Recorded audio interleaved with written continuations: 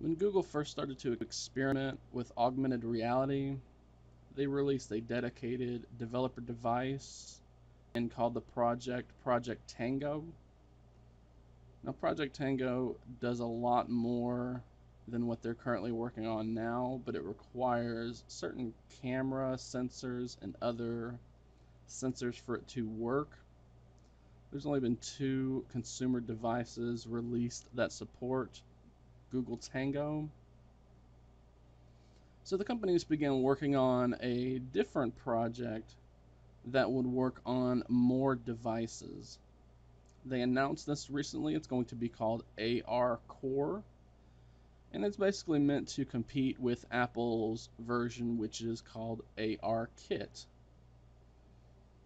Now, Google says that they have planned for the for AR Core to expand out to 100 million devices with this preview that they're doing now. So today I want to show you how to try out the AR Core preview on your Google Pixel, Pixel XL, or Galaxy S8. Now, if you check the full tutorial that I have linked below this video, I'll have a link to a, community project called AR Core for All that tries to get this project working on devices that Google has not specifically made available. So just first to start off, you own a Pixel phone or the Galaxy S8 and not the S8 Plus, just the regular S8. You're going to want to download this AR Core Preview APK. Now I'll have this linked in the full tutorial so you can just check that to get a direct download link. Once that's downloaded, go ahead and install it. And it's just going to install as a service. So you can see it's in such a preview that Google is calling this Tango Core instead of AR Core. And so you can't even open it once it's installed.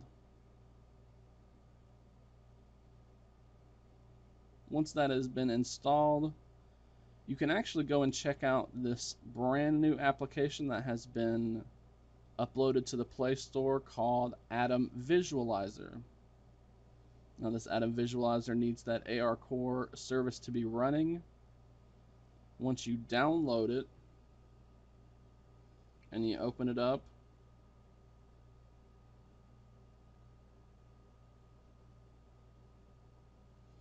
going to give you this interface with a demo of how it works. So you're just going to see whatever you see on the camera. You can add in certain elements here.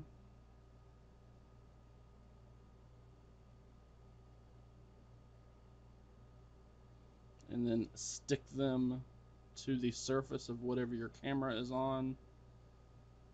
And as you can see, it works as a basic AR augmented reality device. You can clear these off if you want. Put something else there instead. And it's going to stick on the surface just like you would expect AR to work. So again, I'm going to be including a link for the official AR Core Preview APK in the full tutorial. And I will also link to a side project that includes a modified version of that, which should work on a number of devices. There's not a full list of compatible devices yet, but it doesn't hurt to try. You can just install that AR Core APK then download this AR Core application from the Play Store or any other applications in the Play Store that support AR Core that get uploaded in, in the future. And then you just launch the application and that will work for you. So that is how to test out Google's new augmented reality platform on the Pixel Pixel XL, and the Galaxy S8.